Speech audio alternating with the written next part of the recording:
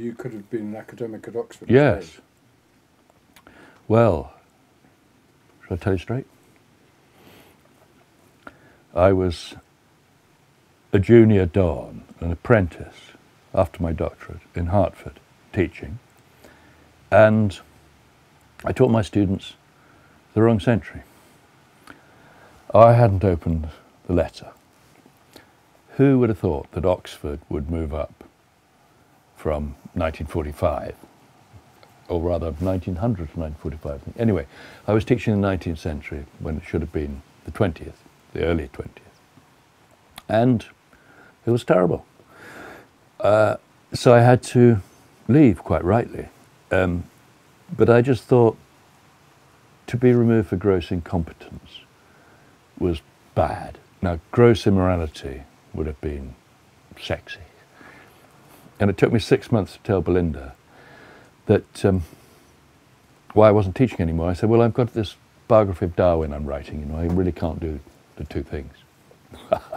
um, so then I joined the Times, the Times Literary Supplement, where it doesn't really matter what century you're thinking about as long as you're doing it with passion. Um, and then James Fenton, our great poet, uh, said, um, Would I like to go to Borneo with him for a holiday, scuba diving? And I looked at the map, there's some pretty suspicious places like Bum Bum Tutu. So I thought, uh, no, no, uh, we'll get this major poet up a major river and see what happens. Uh, so I read a great deal about it. He hadn't got time to read anything about Borneo because he was the theatre critic of the Sunday Times. Um, and I discovered uh, an ancestor of mine, um, to me just known as Uncle Eggy. Now, Uncle Eggy, I remembered sleeping right down the end of the corridor of a big flat in Earl's Court. My aunt had a four-poster bed, massive luxury. He slept right down the end of the flat in a little cavalry bed, did Uncle Eggy. Now, something must be wrong with Uncle Eggy. He was certainly um, not a brave man, I thought, as a boy, uh, because the kitchen table was chalked off. That was the only part of the kitchen he was allowed to touch.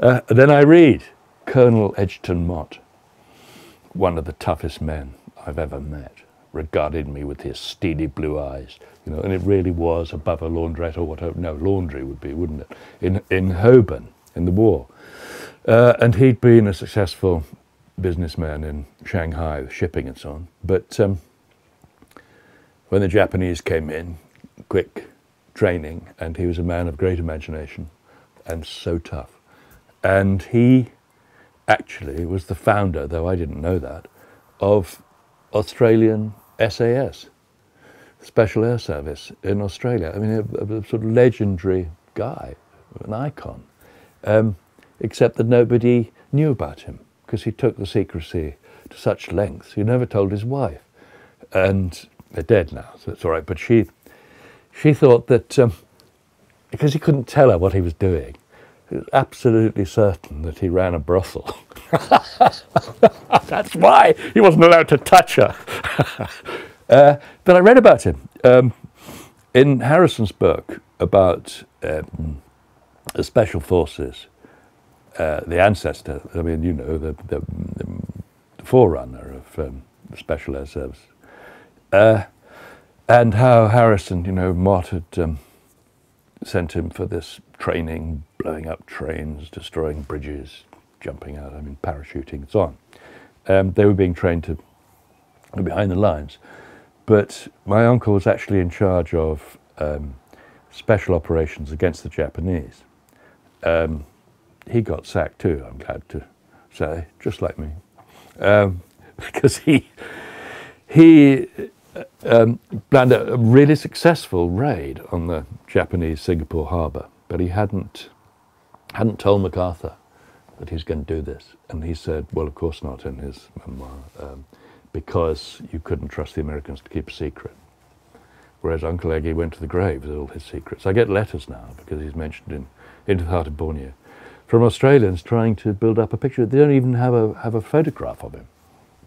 Um, Anyway, This so that was my. I didn't know this, but this, this, yeah, this was my um, entree into into Hereford and 22 SAS, and they absolutely treated me the tops. I mean, the major in charge of training, even though I was quite young then, looked at me and said, "Oh, in the, in uh, peak of peak of life, lad, I see." um, well, you can try the assault course. they gave me all this wonderful equipment. Uh, and Fenton gave him some too. And I was warned, said, um, Well, lad, you know you're going with a trot? And, I didn't know what a trot was. I certainly wouldn't um, connect him with Trotsky. They said, But we don't believe our, our computers. I expect he's an old trot. so that was that was it. That was set then. We had to go on this big expedition.